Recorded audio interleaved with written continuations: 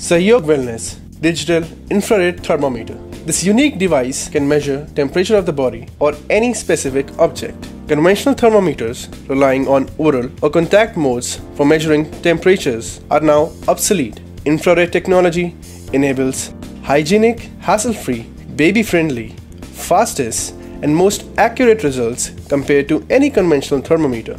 To get started, open up the bottom compartment of thermometer and insert two AA size batteries as indicated by the sign. Close the lid and now you can use the thermometer to change the mode between body and object depending on whose temperature you want to measure. Simply move the side button towards body or object. To select body mode, simply slide the button forward and to select the object mode, slide the button backwards of the thermometer.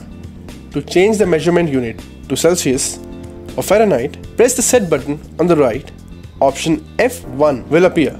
To choose Fahrenheit, press the plus button. To choose Celsius, press the minus button. After this selection, F2 option will appear where you can enable or disable the sound of thermometer. To enable the sound, press the plus button. To disable the sound, press the minus button. After both the selection, press set button to save the settings. To measure temperature of the body, switch on the thermometer. Thermometer will show the last measured temperature. After that, place the thermometer 1 to 5 centimeters away from the forehead. Press the start button and get the instant results. This unique device has three display color modes indicating the temperature.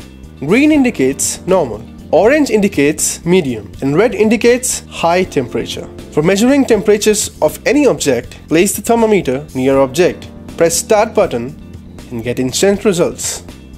The thermometer will automatically switch off after 60 seconds. Kindly go through the user manual in case of any query.